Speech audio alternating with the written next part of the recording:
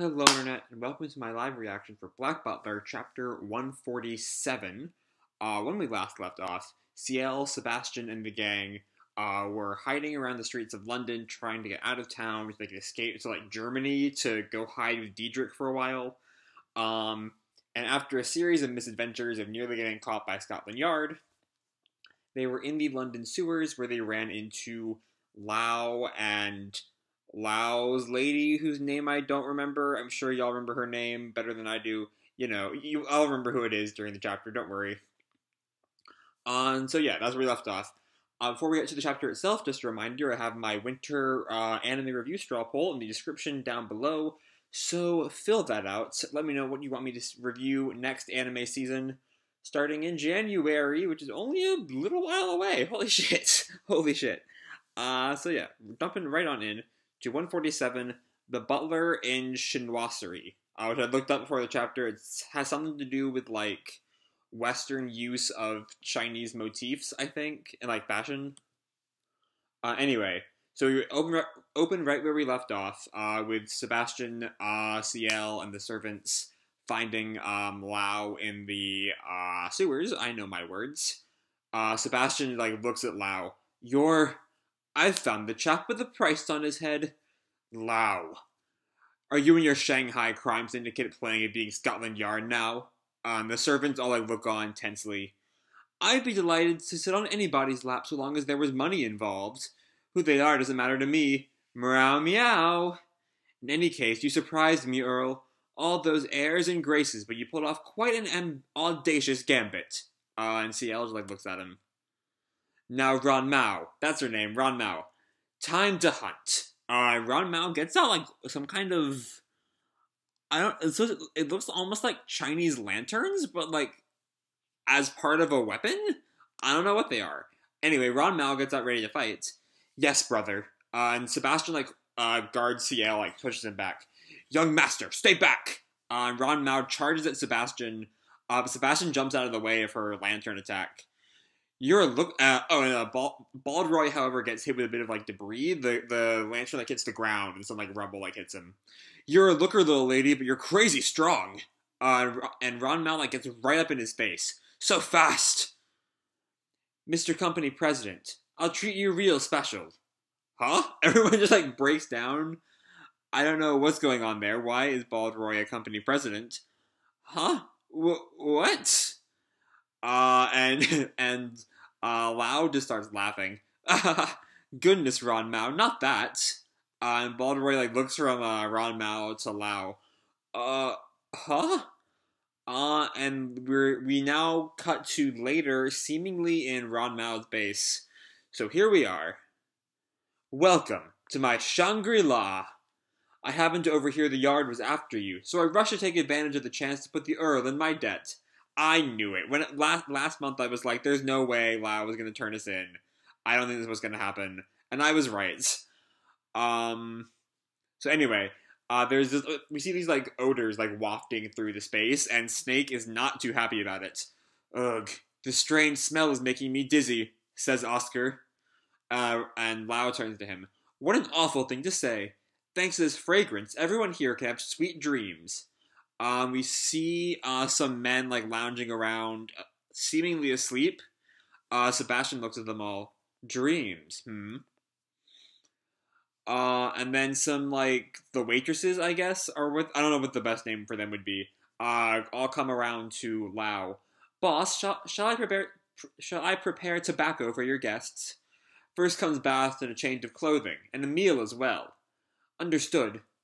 Right this way, sir oh sir the the font was weird i couldn't quite read it. Right this way sir. Take this off. And he like she like goes to, like remove his coat huh? As uh baldroy they're all up to i should say. Huh? R- really? Uh and mayrin turns to him. What bizarre things are running through your head hmm? Please no need to be shy. As they're, they're they're trying to flirt with sebastian and sebastian is like not ready for it. No i'm quite all right. Uh, I well, I can take my own clothes off. Is that Baldroy? I think? We uh this I'm on Comixology and it's not letting me uh, do a one page reader thing, so I'm trying to like squint through the two page thing. Uh, but whatever. Uh, and then some time passes, uh, and we cut to Lau Oh, very nice. Very nice indeed. Uh, and the gang is all dressed up in like traditional Chinese wear. You all look marvelous. They're all either like nonplussed or like Baltimore's got a bit of a smirk on there. And then we have uh, Mei Rin over here who's like blushing uncontrollably, un- uncontrollably because of how short her skirt is. I'm glad we have we had something big enough for you. He turns to uh, Sebastian. You stink like sewer rats. It really does suit you. Very kind of you to say. Uh, and Ran Mao peeks her head in. The food is ready. Uh, we head to this lavish feast uh, laid out before uh, the gang. Wow, looks delicious, says Emily. Uh, and Lau comes up to monologue some more. from the flavor to the variety, you'll find these dishes offer, d- these dishes quite different from your English cooking that taste only of salt and pepper. Please enjoy our Chinese cuisine, a tradition 4,000 years in the making. and Sebastian like does a little head bow to uh, Lau. Mr. Lau, we are grateful for your kindness on this occasion. Come now, Master Butler. I never said I was doing this for free. The Earl is now in my debt, seeing as I've rescued him from his biggest crisis. At some point on the, in the future, I'll call in the debt with interest, so there's no reason for you to stand on ceremony here. And Sebastian kind of like looks down. Well, what is it you've done, Earl? Uh, and oh, so I guess Lau does doesn't even know uh, what's going on. Uh, and then I guess we cut to after they've told him everything. Because our the next line is a Lau line. Oh, is that right? I'm assuming this is after uh, Ciel's told him the whole story, or at least as much of the stories he's uh, willing to tell. Did you not already say that this was the young master's biggest crisis? That's uh, Sebastian. So what will you do now? We have a mind to grow, go abroad, compose ourselves, and develop a plan. Germany was the initial desti- destination. To Mr. Chubby's place, hmm? We have an image of uh, Diedrich on, on the page. Yes. Hmm. Why not be bold and venture to a country where no one knows you? Say India or China. Uh, Mayrin is like shaking. We're, we're not traveling for pleasure. Um, and Ciel looks down. I think he's thinking about Agni when uh, India was brought up. India would be ideal for spreading your wings and unwinding. I'm sure that prodigal prince and company would put, would put you up at would put you up at the palace. Um, that absolutely like um, triggers Ciel's like shame. Uh, I guess I'm assuming Ciel knows that real Ciel was the one who killed so killed Agni. I mean, um, going by just like the context, uh, especially like the the candy in my tummy bit from 128, all those months ago. Uh, anyway, Prince Soma is. Uh, should you decide to come to China, I'll look after you. You can all work in my enterprise. You'd be most welcome. Could be a good chance to master Chinese cookery. Uh, and Sebastian, never one to uh, let a dig pass him by. You have yet to master simple English dishes. Come on, I'm trying to look at the bright side.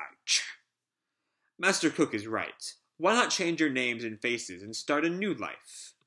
But, um, with your skill, sorry, there was a there was like Ran Mao said like eat here, and it's not that important, so I don't know why I paused so long at it. With your skills, you all can survive anywhere. I see no reason for you to be so fixated with England. Um, and um, fuck, Finian and Snake, um, kind of like look and I don't know, a bit of, bit of shame, I guess. I don't know. Uh, and Sebastian looks. Uh, Ran Mao continues to try to get uh, Ciel to eat. Maybe there's something important there. Leaving everything behind and fleeing is a valid option, you know. And then some sound effect happens. Oh, and Ciel like slams his hand on the meat, the chicken. I think. I think it's a chicken, and he picks it up. Huh? And he rips into it into it with his mouth. Holy shit! uh, just tearing down all the food at the table. Uh, Ran Mao like comments, "Disgusting." Y- young master, what's the ma? And he slams the bowl down. Ah! Quiet! How dare he come back now? See how Phantom Hive is I, my arse! The queen conferred the title of earl to me. She restored the estate to me. I carried out I carried out all of the irritating duties that fall to a lord. I'm the queen's watchdog. No one realized I was an impostor these three years. But the minute the real thing showed up, everyone turned their backs on me. Uh, good on Ciel. Holy shit! I'm Ciel has been holding it all in these past. I guess it's really only been like an hour or two in the real in in universe, but it's been like a year and a half for us. And good God, is a cathartic little speech right here. Uh, and like he stops on the table, you know, breathing heavily. I'm not Ciel, but Earl Ciel Phantom Hive is I. And he like puts his hand to his chest. Uh, and Sebastian looks at him in shock. Uh, and Lau starts clapping for him. Excellent. That's what I wanted to hear. This is the Earl I signed up to do business with. Looks like I won't need to repair an escape vessel. Like hell I'll run. I'll fight. I'll take on the ghost of my brother that's arisen from his grave. And then, my estate, my manor, and the title of Earl, Fa- Earl Ciel Phantom Hive. I'll take it all back for myself. Yes, my lord. Now that we've decided on a course, and uh, Sebastian stands up. Now that we have decided on a course of action, may I have a word? Hmm? And he grabs um, Ciel by his cheeks. Your table manners are a travesty, young master. To be continued. Okay, so this was I checked the page count before we started. This was like a, this was like 28 pages of actual story stuff. Though I think it's only like 26, but that's still more than Butler's been giving us for months. Uh, actual progression wise, though, it was a necessary beat. You know, uh, still it's still a monthly series with only one story beat. Uh, my series activated. Don't know what's up with that. Anyway, uh, it, but it was a damn good. Like the moment where Ciel just snapped. This whole like last five or six pages, incredible, incredible shit. Like from Ciel picking up the chicken to the end. Oh, good God, good shit, good shit all around. My boy, ready to like kick some ass, get his throne back, or as much of an as an Earl can have a throne. What does an Earl have actually? It's not a throne. It's a chair. Do Earls just have chairs? I don't know. I don't know. But, but whatever it is, Ciel wants his back. Uh, and good lord, is he gonna get it? Um, but yeah, this was a standout fucking chapter. Uh, the big, the first like twenty pages went all right. You know, it was some important shit. Uh, Lau, you know, manipulating his way through things, uh, as Lau is wont to do. Um, but you know, it was good, but not great. Uh, for the first like twenty pages or so. Of course, as I called last month, Lau was not there to um to turn our heroes in. He is interested in a much more long term debt, um, or Ciel's debt to him. Um, but yeah, then there's just this phenomenal sequence of, you know, first Ciel like slamming down all the food, and then he finally lets all of his feelings out. How dare he come back now? Ciel Phantom Hive's I my arse. I fucking love that line. Um, yeah. Oof. What a great. I, I love also, like, normally Ciel's hair is, like, really, you know, neat and, like, tidy. Um, and then we have this shot, you know, Earl Ciel Phantom Hive's I at the end of his long rant. And his hair is just a fucking mess. And it looks phenomenal. Oh, God. This was a great chapter. Uh, yeah. Ev- everything beforehand was kind of, like, blotted out by that great Ciel speech at the end uh, as Ciel gets ready to take back his earldom, uh, for lack of a better word. Uh, looks like we're not, though it does look like we're not going to get to see Diedrich, uh, as our revenge plan is going to start off right away. Uh, so yeah, we're to have to wait until the new year for that. 2019 coming up at you real soon. Uh, but yeah, I'm to leave this video off here. Hope you all enjoyed the chapter as much as I did and the video. If you did, feel free to join me a like or subscribe or fill out that straw poll down below, please. Or, you know, do whatever the fuck you want. I don't really care. And as always, people, keep kicking ass, and I'll see you in the future. Bye.